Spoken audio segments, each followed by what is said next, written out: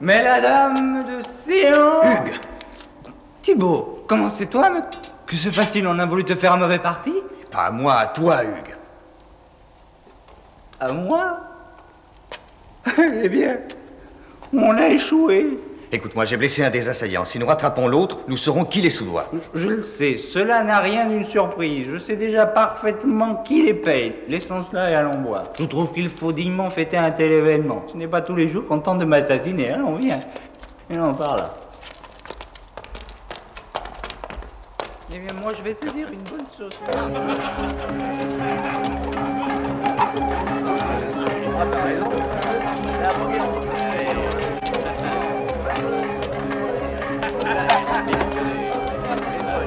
Eh, on meurt de soif ici Ah, bien. Asseyons-nous, nous allons fêter mon trépas manqué. Colin euh, Viens ici Avec joie. Ah Tu connais Colin? À quoi boit-on? Écoutez, à mon pire ennemi, le baron Gauthier. Ah, Je sais qu'en général, les nobles barons ne nous aiment guère. Mais pourquoi Gauthier en voudrait-il à ta vie? Mais c'est extrêmement simple. Et Je suis comte de Jaffa et Gauthier veut mon titre. Ce n'est pas la seule raison. Il veut aussi t'enlever l'amitié que te porte la reine. Colin, cela n'a aucun rapport. Mélisande est ma cousine.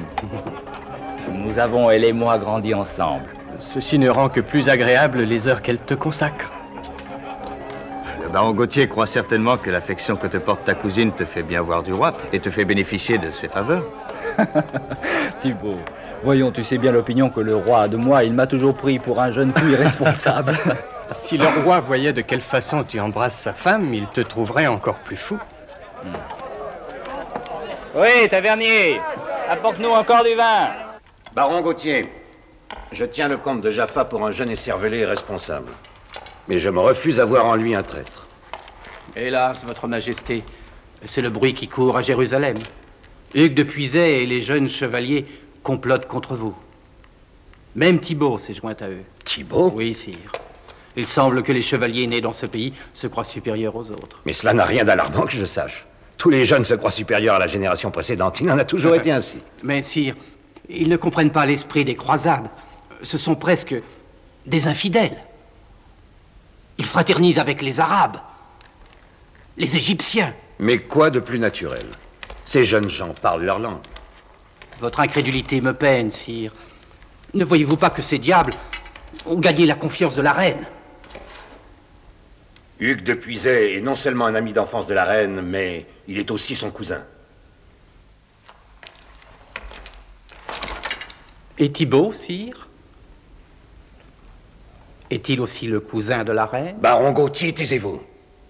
Je ne saurais trop vous conseiller de réfléchir avant de faire de telles insinuations. Cela pourrait s'avérer fort grave. Mais c'est grave, sire. Si nous nous laissons prendre au dépourvu, un jour nous serons vendus aux Égyptiens. Cette fois, vous passez les bornes, baron.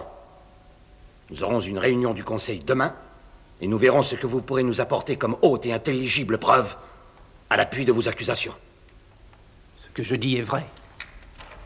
Votre Majesté verra que la trahison va du fond du désert jusqu'aux chambres du palais. Vous pouvez vous retirer, baron.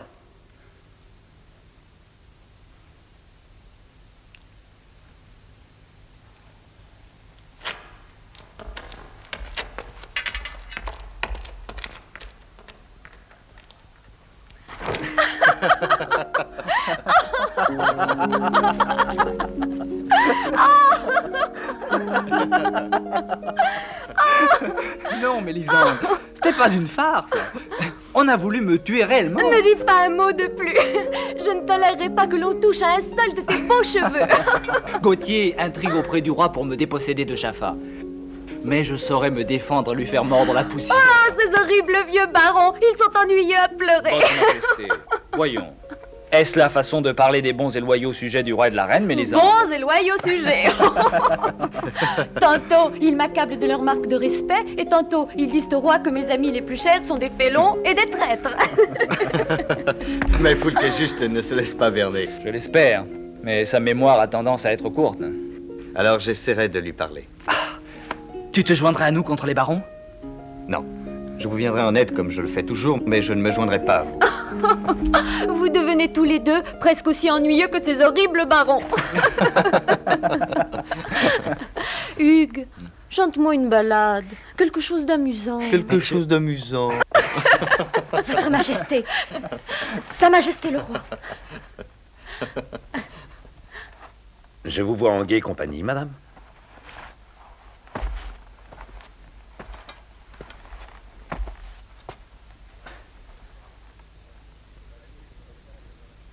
Chevalier, je n'aurai pas besoin de vos services.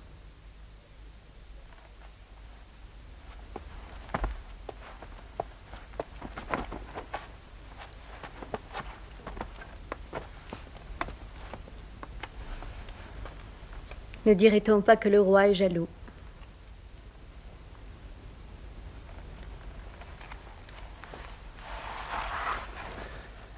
C'est qu'il vous aime tant.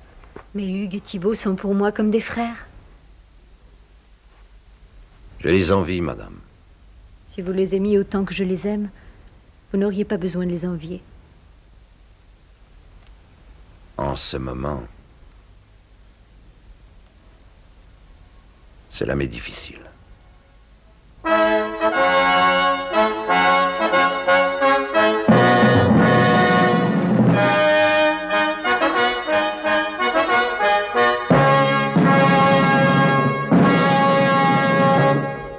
Sire, je le répète solennellement ici, Hugues de Puiset, comte de Jaffa, a trahi le royaume de Jérusalem et rompu son serment de chevalerie.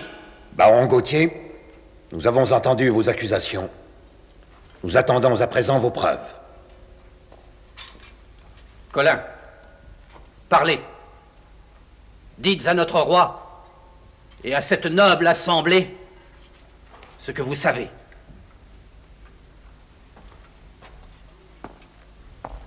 Sire, comme vous le savez, Hugues de Puisé entretient des relations d'amitié avec les Égyptiens, avec Imtalal, l'émir d'Ascalon.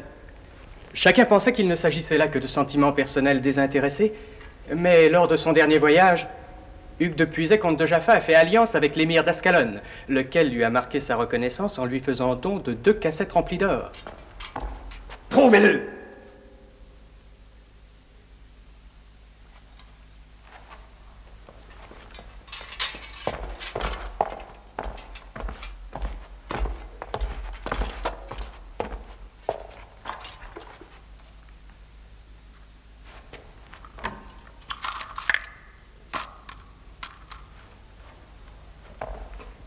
viennent ces coffrets, capitaine De la maison duc de Puiset. Tu mens, traître La preuve est là Silence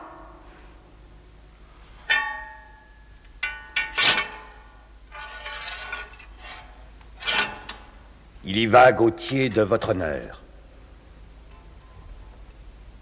Et vous, Hugues, de votre loyauté. Cette affaire ne peut être tranchée que par les armes. Et Dieu fera triompher celui de vous deux qui dit la vérité.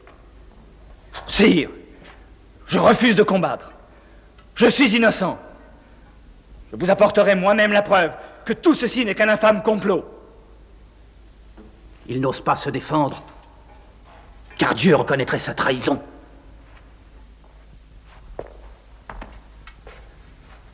Hugues, il faut que tu relèves le défi. Tu m'auras à tes côtés. Ce sont des calomnies, sire, je vous le jure.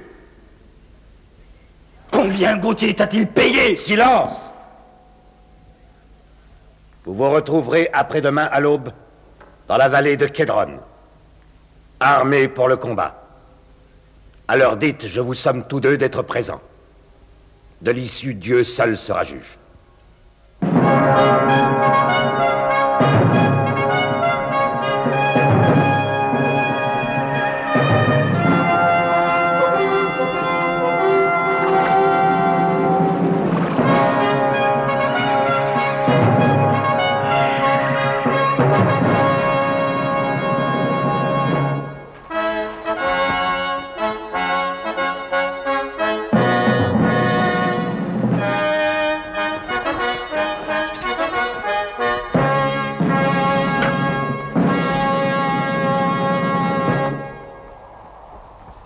Cela étrange. Personne ne l'a aperçu depuis hier. C'est au contraire fort simple. Hugues de Puisay ne veut pas combattre. Mais Hugues n'est ni un lâche ni un traître. S'il n'est pas là, je regrette. Il est certainement l'autre. Non, Blanche. Je pense, moi, qu'il lui est arrivé quelque chose.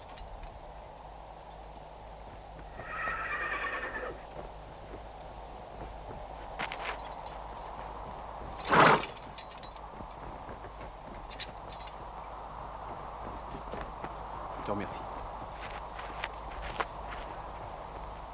Mes seigneurs,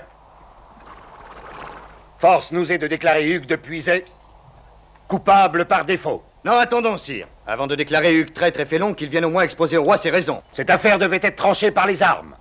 C'était le jugement de Dieu et Dieu n'attend pas. En conséquence, le comte de Puisay est déclaré traître et félon à son roi et à son pays.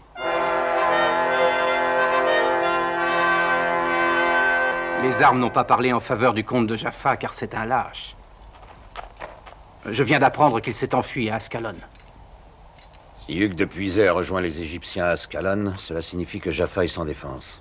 Baron Gauthier, prenez cent hommes et empêchez que Jaffa ne tombe aux mains des Égyptiens. Je vais filer tout de suite à Ascalon pour tenter de retrouver Hugues. Blanchot, prends tous les moyens qui te seront bons, mais retrouve Colin. Il est la seule preuve de la félonie de Gauthier. Ne l'oublie pas surtout. Et fais bien attention. Gauthier est capable de le tuer. Pour l'empêcher de dire la vérité. Oui, occupe-toi de retrouver ton ami Hugues. Et pour Colin, j'en fais mon affaire.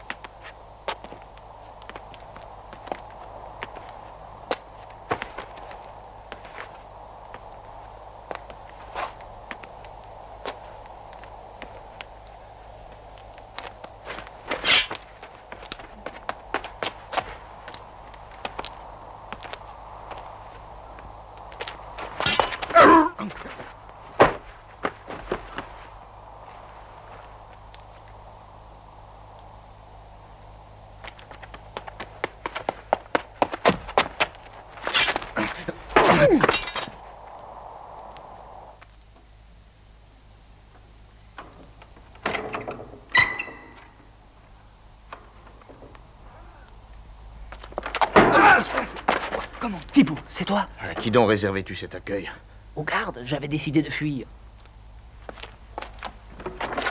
Mais dis-moi, que fais-tu ici à Ascalon alors que tu devrais être en train de défendre ton honneur à Jérusalem? Je suis venu pour persuader l'émir de m'accompagner à Jérusalem pour dire au roi que les accusations de Gauthier n'étaient que mensonges. Alors pourquoi te retient-il prisonnier? Quand il a su que le roi avait envoyé Gauthier défendre Jaffa contre les Égyptiens, il a cru que je voulais l'attirer dans un guet-apens, alors il a décidé de me garder prisonnier ici jusqu'à ce que la vérité se fasse. Hugues, il faut absolument retourner à Jérusalem et tenter de prouver ton innocence à Foulque. Comment? Mais en utilisant Colin. Gauthier s'est servi de lui contre toi, tu vas lui rendre la politesse.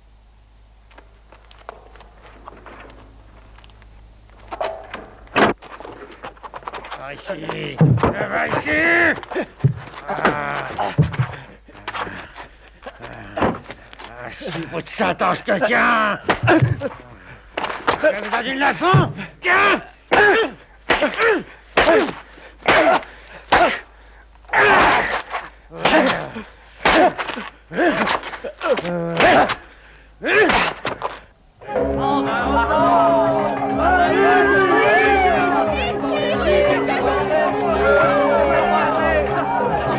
Oh, Hugues, de retour. On est bien content. Merci, mes amis.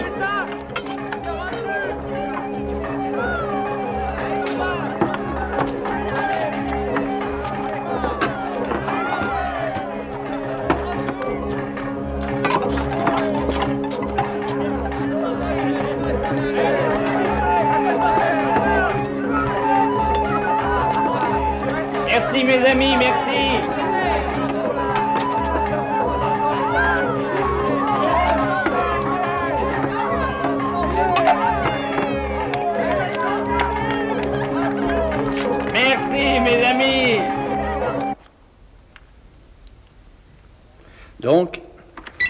N'a pas d'autre choix.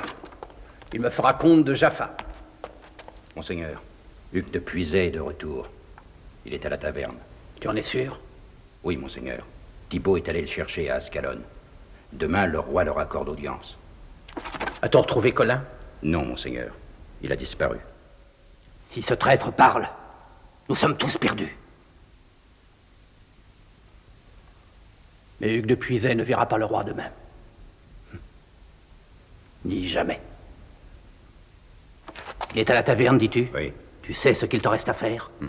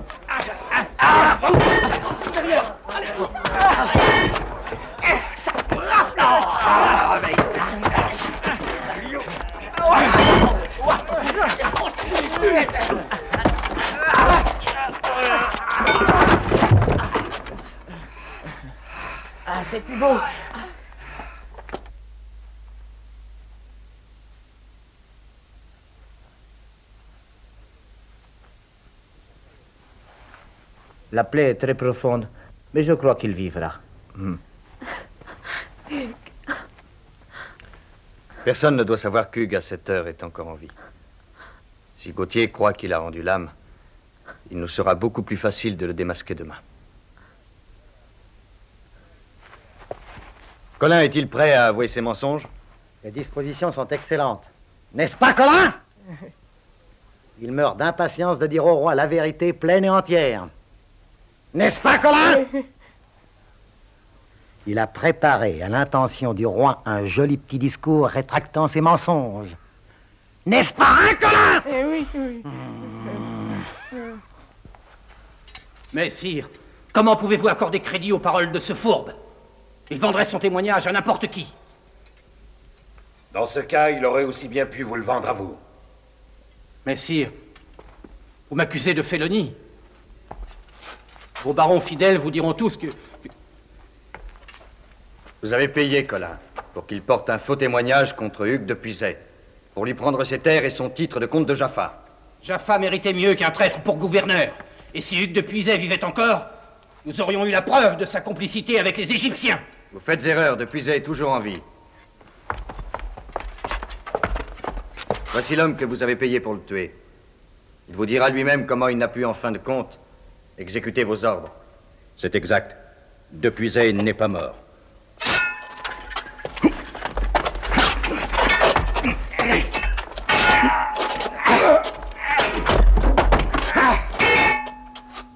Vous avez donné assez de preuves de votre félonie, baron Gauthier. Je vous condamne à l'exil pour le reste de votre vie.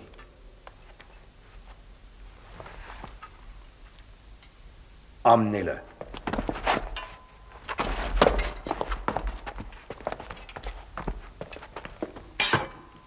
La séance est levée.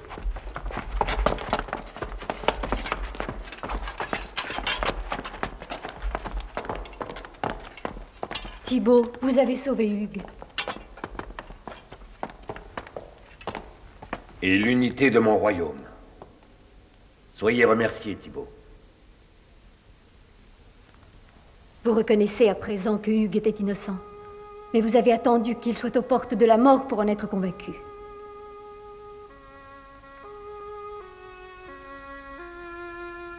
Pardonnerez-vous jamais, madame Si Hugues meurt, cela sera, sire, au-dessus de mes forces.